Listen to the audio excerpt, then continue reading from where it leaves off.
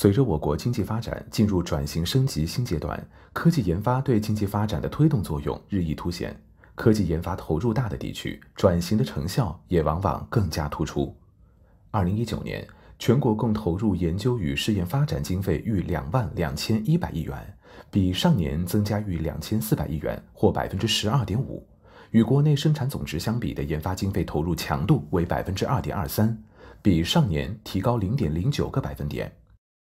自二零一三年以来，我国研发经费总量一直稳居世界第二，与美国差距逐步缩小。R&D 经费投入强度逐步提升，已接近欧盟十五国平均水平。分地区来看，研发经费投入超过千亿元的省市有六个，分别为广东的近三千一百亿元，江苏逾两千七百亿元，北京逾两千二百亿元，浙江逾一千六百亿元，上海逾一千五百亿元。和山东近一千五百亿元。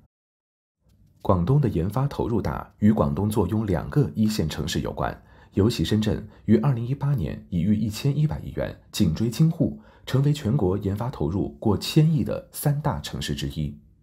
在榜尾端，共有八个省份的研发强度低于百分之一，分别是西藏、新疆、海南、青海、广西、贵州、内蒙古、云南。